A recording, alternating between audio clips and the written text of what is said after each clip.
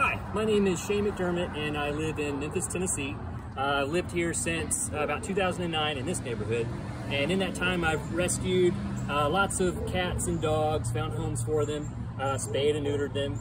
And uh, most recently I found Sweetie on July the 24th. She was at the end of my driveway when I took out the recycling and she had been shot.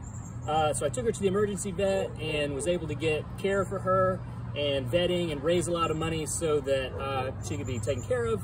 Uh, at the moment, I'm fostering her in an air-conditioned studio in the back of my house, but I can only do that for a couple more weeks.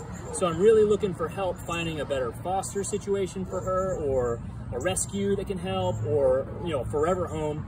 But uh, that's that's what I'm looking for is, is help finding Sweetie a home.